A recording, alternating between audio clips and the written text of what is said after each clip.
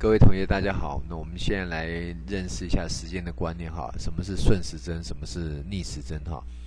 那我们先来播放时间哈。那时，你有看到时针走的方向哈？时针走的方向就这样往这边走的方向，这个方向就是顺时针。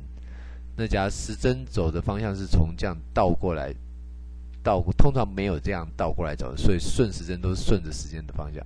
倒过来我们会称为逆时钟的方向。那我们有时候讲方向的时候会讲逆时钟，就是倒过来走的方向。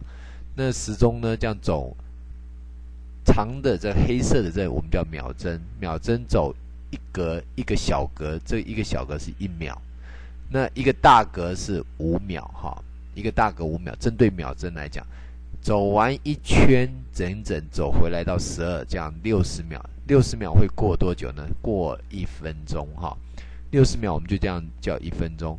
那一分钟走五格到一，这也叫做五分钟哈。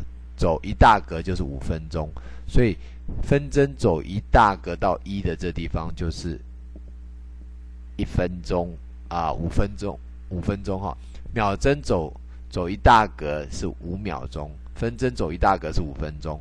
那时针呢？走一大格是一小时，所以我们来看，一分钟等于多少秒？一分钟是六十秒，啊，一分钟六十秒，走了六十分钟呢，会变成一小时哈。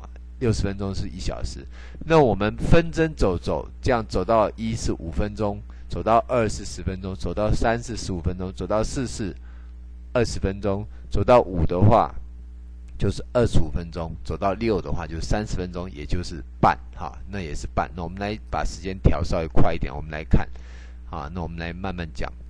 好，你可以看到分秒针线走得越来越快，分针也会跟着走，走一圈分针就走一格，走一圈分针就走一格啊。那我们看，当分针走，当分针走到一的时候，秒针是走了五大圈哈，就走了。五乘以六十等于等于三百秒哈，那我们再走快一点，让分针呢可以让让五十倍数的时间来看它啊，分针分针看走到十五分，分针走到二十分，所以十二点二十分，十二点二十五分。好，我们先暂停一下哈，我们看到这样子，当分针走到六，时针是。一十二跟一的中间哈，这就叫做十二点三十分，也叫做十二点半，这样知道吗？哈，十二走到六的话就十二点半。那我们继续让时间走快一点，那三十五分，这样子是十二点四十分，十二点四十五分，十二点五十分，十二点五十五分。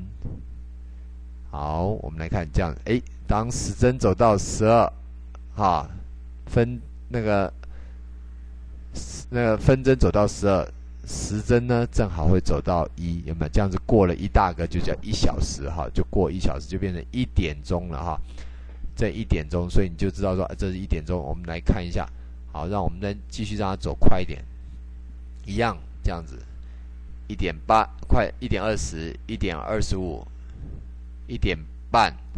好，那我们让它走快点。两点，两点半，三点，三点半，四点，四点半，五点，五点半，六点。这样，同学知不知道？知不知道时间的这样子哈？所以你可以看，当我这样子走一圈下来哈，我再快一点，走一圈下来，好，快走一。当时针走了一圈。你看，已经过了哈，过头了，这样就是十二个小时，过了十二个小时就是一天，啊，过就是一天，啊，半天哈，十二个小时是半天，更正一下哈，十二个小时跟半天。那假如说再这样再走快一点，当时针走两圈，哈，时针走两圈了哈，这样子就二十四小时，二十四小时就一天。过了一天，一天二十四小时，所以这样这样就知道，那这边就会二十四小时的话，一天有二十四小时，那半天十二小时，这样对时钟的观念有没有清楚呢？哈，那这样子你就可以知道时针为什么会一直走，一直走。所以我们要珍惜时间，要努力的读书哈。那不要辜负爸爸妈妈的心意。所以时针时针就会不断的走，每天秒针也不断的走，分针也不断的走，它们不停的走。那我们相对我们要把握时间哈，时间就这样一直转眼这样走掉了哈。那同学也要好好的努力用功，这样子好好的读书，这样子才能够做未来成为一个很有用的人。那时间的观念这样也知道了哈。